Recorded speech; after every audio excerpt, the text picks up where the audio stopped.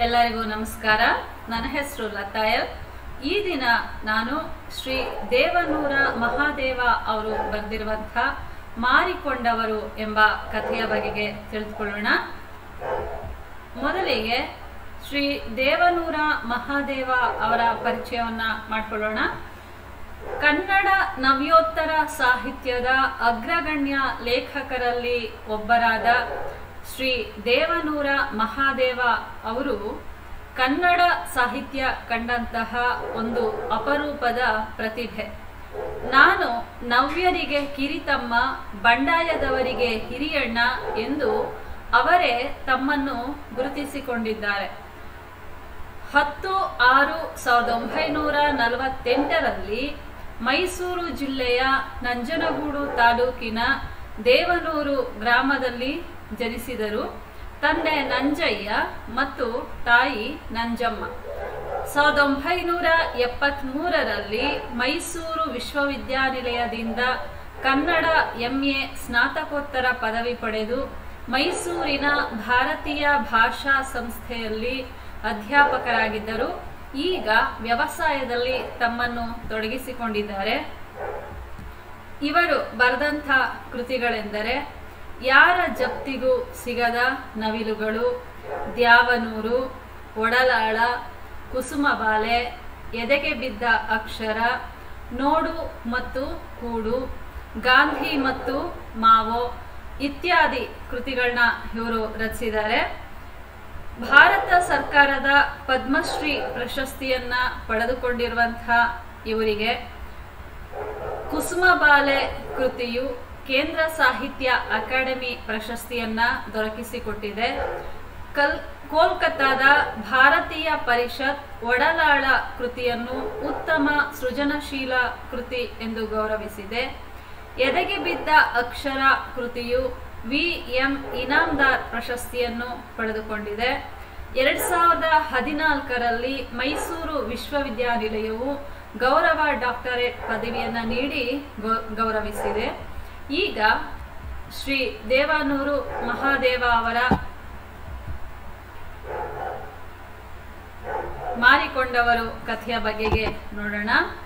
ಮಾರಿಕೊಂಡವರು ಕಥೆಯನ್ನು ದೇವನೂರು ಮಹಾದೇವ ಅವರ ದ್ಯಾವನೂರು ಎಂಬ ಕಥಾ ಸಂಕಲನದಿಂದ ಆರಿಸಲಾಗಿದೆ. ಈ ಕಥೆಯಲ್ಲಿ ದಲಿತ ಪ್ರಜ್ಞೆಯ ಜೊತೆಗೆ ಅನಾಥ ಪ್ರಜ್ಞೆಯು ಕಾಡುವುದನ್ನ ಕಾಣಬಹುದಾಗಿದೆ.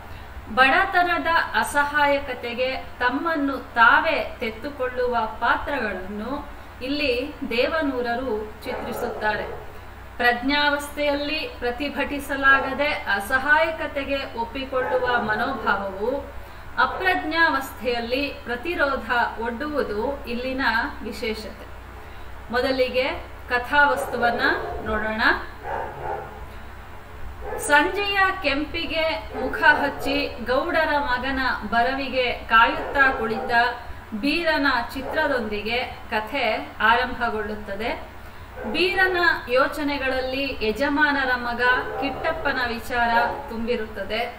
ವಿದ್ಯೆ ಪಡೆಯಲು ಮೈಸೂರು ಸೇರಿ ಗೆಳತಿ ಹಿಂದೆ ಬಿದ್ದು ಫೇಲಾಗಿ ಹಟ್ಟಿಗೆ ಬಂದರೂ ಬುದ್ಧಿ ಕಲಿಯದೆ ಹಾಳಾಗಿ ಹೋಗುತ್ತಿರುವ ಮಗನನ್ನು ತಿದ್ದಲು ಗೌಡರು ಎಷ್ಟು ಪ್ರಯತ್ನಿಸಿದರೂ ಸಾಧ್ಯವಾಗೋದಿಲ್ಲ ಕೊನೆಗೆ ಗೌಡರೇ ಅವನನ್ನು ತಿದ್ದುವ ಪ್ರಯತ್ನವನ್ನು ಕೈಬಿಡುತ್ತಾರೆ. ಹೀಗೆ ಕಿಟ್ಟಪ್ಪನ ಚರ್ಯಗಳನ್ನೇ ಮೆಲುಕು ಹಾಕುತ್ತಾ ಕುಳಿತಿರುವಾಗ ತಾನು ಮತ್ತು ತನ್ನ ಹೆಂಡತಿ ಲಕ್ಷ್ಮಿ ಗೌಡರ ಆಶ್ರಯಕ್ಕೆ ಬಂದ ಸಂದರ್ಭವನ್ನು ನೆನಪಿಸಿಕೊಳ್ಳುತ್ತಾನೆ. ದಿಕ್ಕು ದೆಸೆ ಇಲ್ಲದೆ ಎಲ್ಲಿಗೆ ಹೋಗಲು ತಿಳಿಯದೆ ನಂಜನಗೂಡಿನ ಕಡೆಗೆ ಹೋಗಲು ರೈಲು ಹತ್ತಿ ಕುಳಿತಿದ್ದ ಬೀರ ಮತ್ತು ಲಕ್ಷ್ಮಿ ಟಿಕೆಟು ಕೇಳಲು ಬಂದವರ ಕೈಗೆ ಸಿಕ್ಕಿಬಿದ್ದು ಫಜೀತಿ ಪಡುತ್ತಿರುವಾಗ ಗೌಡರು ಅವರ ಪೂರ್ವಾಪರವನ್ನು ವಿಚಾರಿಸಿ, ಕೊನೆಗೆ ತಮ್ಮ ತೋಟದಲ್ಲೇ ಕೆಲಸ ಮಾಡಲು ಕರೆತಂದಿರುತ್ತಾರೆ ಬೀರ ಈ ವಿಚಾರದಲ್ಲೇ ಮಗ್ನನಾಗಿರುವಾಗ ಮಿಲ್ಲಿನ ಹುಡುಗ ಪಾಷಾ ಬಂದು, ಕಿಟ್ಟಪ್ಪ ಕೆಟ್ಟು ಹೋದ ಮೋಟಾರ್ನ ಕಾಯಲ್ಲು ಸರಿಪಡಿಸಲು ಮೈಸೂರಿಗೆ ತೆಗೆದುಕೊಂಡು ಹೋದ ಸಂಗತಿಯನ್ನು ತಿಳಿಸುತ್ತಾನೆ. ತಾನು ಕಾಯುತ್ತಾ ಕುಳಿತಿದ್ದ ಕಿಟ್ಟಪ್ಪ ಈಗ ಬರುವುದಿಲ್ಲವೆಂದು ತಿಳಿದ ಮೇಲೆ ಬೀರ ಮನೆಯ ಒಳಗೆ ಬರುತ್ತಾನೆ.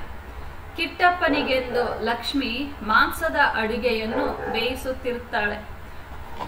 ಕಿಟ್ಟಪ್ಪ ಬರದಿರುವ ಸಂಗತಿಯನ್ನು ಹೆಂಡತಿಗೆ ತಿಳಿಸಿದ ಬೀರ, ಕಿಟ್ಟಪ್ಪನ ಮತ್ತು ತನ್ನ ಪಾಲಿನ ಸರಾಫನ್ನು ತಾನೇ ಇಟ್ಟುಕೊಂಡು ಊಟಕ್ಕೆ ಕೂರುತ್ತಾನೆ ಹೆಂಡತಿಗೆ ಜೋರು ಮಾಡಿ ಇನ್ನಷ್ಟು ಹಾಕಿಸಿಕೊಂಡು ಎಲ್ಲ ಸರಾಪನ್ನು ಒಬ್ಬನೇ ಖಾಲಿ ಮಾಡಿ ಬಿದ್ದುಕೊಳ್ಳುತ್ತಾನೆ ಗಂಡ ಕುಡಿದ ಅಮಲಿನಲ್ಲಿ ಲಕ್ಷ್ಮಿ ಲಕ್ಷ್ಮಿ ಎಂದು ಕರೆಯುತ್ತಾ ಗೊರಗುಟ್ಟ ತೊಡಗಿದಾಗ ಅವನನ್ನು ಗದರಿ ತಾನು ಕೋಣೆಯ ಮೂಲೆಯಲ್ಲಿ ಮಲಗಿಕೊಳ್ಳುತ್ತಾಳೆ. ಕುಡಿತದ ಅಮಲಿನಲ್ಲಿ ನಿದ್ರೆಯಲ್ಲಿಯೇ ಲಕ್ಷ್ಮಿಯನ್ನು ಕರೆಯುವ ಬೀರ, ಅವಳು ಬರದಿದ್ದಾಗ, ನೀ ಮಾತಾಡೋದಿಲ್ವಾ? ನನ್ನೊಂದ್ಗ ಯಾಕೆ ಮಾತಾಡ್ತಿ ಹೇಳು. ಕಿಟ್ಟಪ್ಪನೊಂದಿಗೆ ಮಾತಾಡೋದ ಬಿಟ್ಟು ಎಷ್ಟಾದ್ರೂ ಅವ ನಿನ್ ಮಿನ್ಗಾರ ಅಲ್ವಾ? ಎಂದಾಗ ಲಕ್ಷ್ಮಿಗೆ ಆಘಾತವಾಗ್ತದೆ. ಅವಳು ತನ್ನನ್ನು ತಾನು ರಕ್ಷಿಸಿಕೊಳ್ಳುವ ಪ್ರಯತ್ನ ಮಾಡ್ತಾಳೆ. ಆಗ ವೀರ, ನಾ ಯಾನ್ನ ಅನ್ನೋದು ಅಂತೀಯನಮ್ಮಿ ಕೊತ್ತಿ ಕಣ್ಮುಚ್ಕೊಂಡು ಹಾಲು ಕುಡಿದ್ರ? ಗೊತ್ತಾಗಲ್ವಂತೆ. ಅತಿ ಕಾಣಿಸ್ತೀನಿ. ಕಂದ, ಬೆಳಗಾಗ್ಲಿ. ನೀನು ಇಲ್ಲ, ಅವನು ಇಲ್ಲ. ಬಾವ್ಗ ತರ್ದು ತರ್ದಾಕ್ತೀನಿ. ನನ್ನನ್ನ ಅಷ್ಟಕ್ಕೂ ತಪ್ರ ಅಂತ ತಿಳ್ಕೊಂಡಿರಿ ಎಂದು ಜೋರಾಗಿ ಹೇಳುತ್ತಿರುವಾಗ ಲಕ್ಷ್ಮಿಗೆ ಗರ ಬಡಿದಂತಾಗುತ್ತದೆ. ಗಂಡನಿಗೆ ತನ್ನ ಮತ್ತು ಕಿಟ್ಟಪ್ಪನ ಸಂಬಂಧದ ಸುಳಿವು ಸಿಕ್ಕಿದೆ ಎಂಬುದು ಅರಿವಾಗಿದೆ.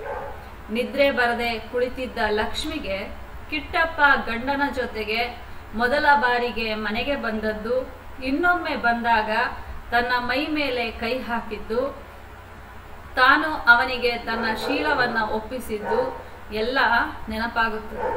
ಇದೇ ಯೋಚನೆಗಳಲ್ಲಿ ಮುಳುಗಿದ್ದ ಲಕ್ಷ್ಮಿಗೆ ಅವಳಿಗೆ ಗೊತ್ತಿಲ್ಲದಂತೆ ನಿದ್ರೆ ಆವರಿಸಿತ್ತು. ಬೆಳಿಗ್ಗೆ ಎಂದಿನಂತೆ ವೀರ ಎಚ್ಚರಗೊಂಡಾಗ ಮಲಗಿದ್ದ ಲಕ್ಷ್ಮಿಯನ್ನು ನೋಡುತ್ತಾನೆ. ಅವಳು ಹೊದೆದಿದ್ದ ಕಂಬಳಿ ಕಿಟ್ಟಪ್ಪ ತಂದು ಕೊಟ್ಟಿದ್ದು ಎಂದು ಅರಿವಾದಾಗ ಅವನ ಮನಸ್ಸು ಖಿನ್ನವಾಗುತ್ತದೆ. ಅಷ್ಟರಲ್ಲಿ ಕಿಟ್ಟಪ್ಪ ಬಂದಾಗ ಎದ್ದು ಹೊರಬರುತ್ತಾನೆ. ನಿದ್ರೆಯಿಂದ ಎಚ್ಚೆತ್ತ ಲಕ್ಷ್ಮಿಗೆ ರಾತ್ರಿಯ ಘಟನೆ ನೆನಪಾಗಿ ತೊಲೆ ಕಡೆ ನೋಡುತ್ತಾಳೆ. ಮಚ್ಚು ಅಲ್ಲೇ ಇದ್ದುದರಿಂದ ಸಮಾಧಾನ ಹೊಂದಿ ಬಾಗಿಲ ಬಳಿ ಬಂದು ಕಿಂಡಿಯಲ್ಲಿ ಕಣ್ಣು ಹಾಯಿಸಿದಾಗ ಗಂಡ ಮತ್ತು ಕಿಟ್ಟಪ್ಪ ನಗುತ್ತಾ ಮಾತಾಡುತ್ತಿರುವುದು ಕಣ್ಣಿಗೆ ಬೀಳುತ್ತದೆ. ಬಂಧುಗಳೇ, ಇಲ್ಲಿಗೆ ಮಾರಿಕೊಂಡವರು ಕಥೆ ಮುಕ್ತಾಯವಾಗ್ತದೆ. ಈಗ ಈ ಕಥೆಯ ಮುಖ್ಯ ಪಾತ್ರಗಳ ಬಗೆಗೆ ನೋಡೋಣ. ಮಾರಿಕೊಂಡವರು ಕಥೆಯಲ್ಲಿ ಮುಖ್ಯವಾಗಿ ಕಂಡುಬರುವುದು ಲಕ್ಷ್ಮಿ, ಬೀರ ಮತ್ತು ಕಿಟ್ಟಪ್ಪನ ಪಾತ್ರಗಳು. ದಲಿತ ಪ್ರಜ್ಞೆಯ ಜೊತೆಗೆ ಅನಾಥ ಪ್ರಜ್ಞೆಯಲ್ಲಿ ತೊಳಲುವ ಪಾತ್ರಗಳಾಗಿ ಲಕ್ಷ್ಮಿ ಮತ್ತು ಬೀರ ಕಂಡುಬರುತ್ತಾರೆ. ಕಥೆಯ ಆರಂಭದಿಂದಲೂ ಬೀರ ಮತ್ತು ಲಕ್ಷ್ಮಿಯ ಆಲೋಚನೆಗಳಲ್ಲಿ ತುಂಬಿಕೊಂಡಿದ್ದ ಕಿಟ್ಟಪ್ಪನ ಪಾತ್ರ ಕಥೆಯಲ್ಲಿ ಪ್ರವೇಶ ಪಡೆಯುವುದು ಮುಕ್ತಾಯ ಭಾಗದಲ್ಲಿ.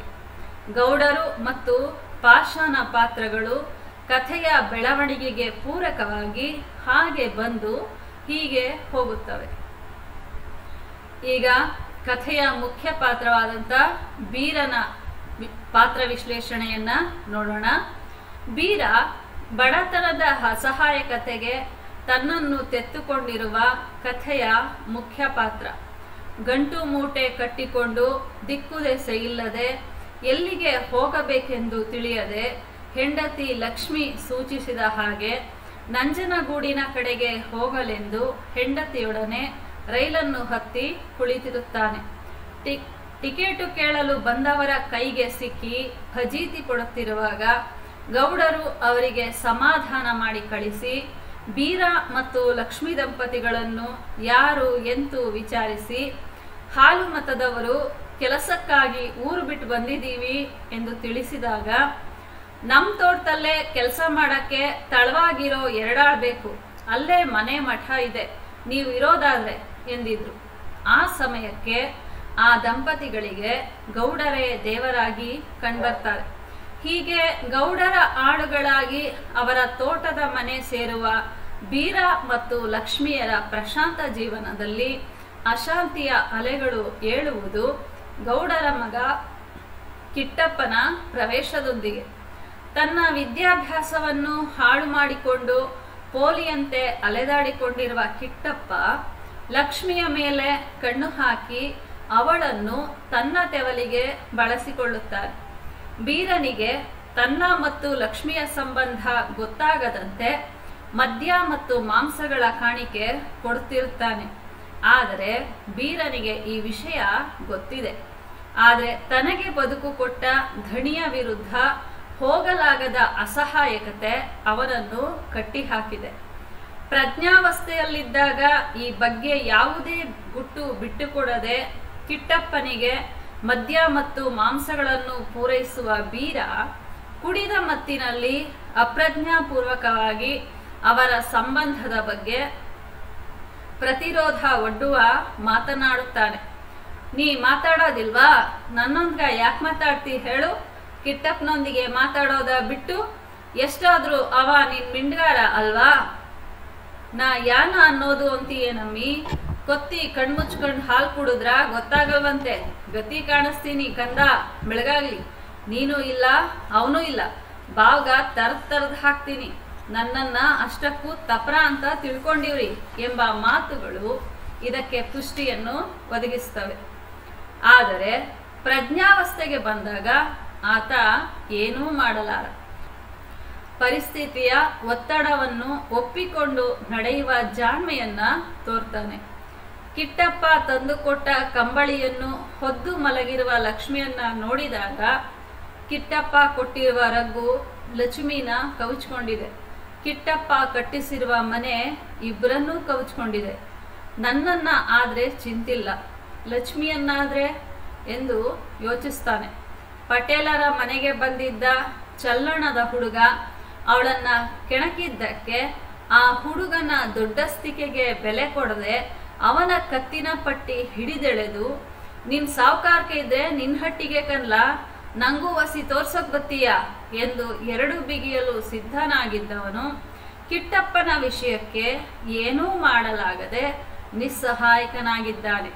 ಎದೆಯ ಕುದಿಯನ್ನು ಮುಚ್ಚಿಟ್ಟುಕೊಂಡು ಏನೂ ಆಗದವನಂತೆ ಕಿಟ್ಟಪ್ಪನೊಂದಿಗೆ ನಗುತ್ತಾ ಮಾತನಾಡುತ್ತಾ ಪರಿಸ್ಥಿತಿಗೆ ಹೊಂದಿಕೊಂಡು ನಡೆಯುವ ಜಾಣ ನಡೆಯನ್ನು ಪ್ರದರ್ಶಿಸುತ್ತಾನೆ ಬೀರ.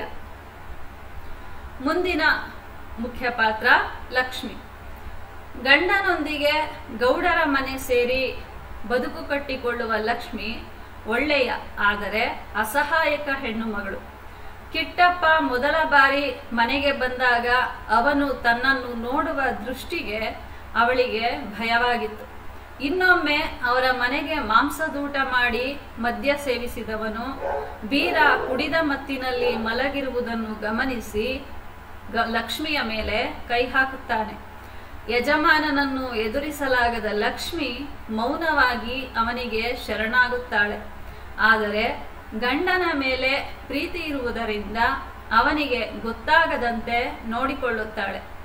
ಕುಡಿದ ಮತ್ತಿನಲ್ಲಿ ಅವನಿಗೆ ತಮ್ಮ ಸಂಬಂಧದ ಅರಿವಿರುವುದು ಗೊತ್ತಾದಾಗ ದಿಗ್ಭ್ರಾಂತಳಾಗುತ್ತಾಳೆ. ಗಂಡ ಕಿಟ್ಟಪ್ಪನಿಗೆ ಏನು ಮಾಡುವನೋ ಎಂದು ಹೆದರಿದರು ಬೆಳಿಗ್ಗೆ ಎಂದಿನಂತೆ ಕಿಟ್ಟಪ್ಪ ಮತ್ತು ಗಂಡ ನಗುತ್ತಾ ಮಾತನಾಡುತ್ತಿರುವುದನ್ನು ನೋಡಿ ಸಮಾಧಾನಗೊಳ್ಳುತ್ತಾಳೆ. ಹೀಗೆ ಪರಿಸ್ಥಿತಿಗೆ ಹೊಂದಿ ನಡೆಯುವ ಜಾಣ್ಮೆಯನ್ನು ಗಂಡ ಹೆಂಡತಿಯರಿಬ್ಬರು ತೋರಿಸುತ್ತಾರೆ. ಬಡತನದ ಅಸಹಾಯಕತೆಗೆ ತಮ್ಮನ್ನು ತೆತ್ತುಕೊಂಡ ಬೀರ ಮತ್ತು ಲಕ್ಷ್ಮಿಯರು ತಮ್ಮನ್ನೇ ಮಾರಿಕೊಂಡವರಾಗಿ ಅನಾಥ ಪ್ರಜ್ಞೆಯ ಸಂವೇದನೆಯನ್ನು ಕಟ್ಟಿಕೊಡುತ್ತಾರೆ. ಹೀಗೆ ದೇವನೂರು ಮಹಾದೇವರವರ ಮಾರಿಕೊಂಡವರು ಕಥೆ ದಲಿತ ಪ್ರಜ್ಞೆಯ ಹಿನ್ನೆಲೆಯಲ್ಲಿ ಕನ್ನಡ ಸಾಹಿತ್ಯಕ್ಕೆ ಒದಗಿದ ಉತ್ತಮ ಕಥೆಯಾಗಿದೆ. ಬಂಧುಗಳೇ, ಇಲ್ಲಿಯವರೆಗೂ ಮಾರಿಕೊಂಡವರು ಕಥೆಯನ್ನ ನೋಡಿದ್ದೇವೆ. ಎಂದಿನಂತೆ ತಮ್ಮ ಸಲಹೆ ಸೂಚನೆಗಳಿಗೆ ಸ್ವಾಗತ. ಧನ್ಯವಾದಗಳು.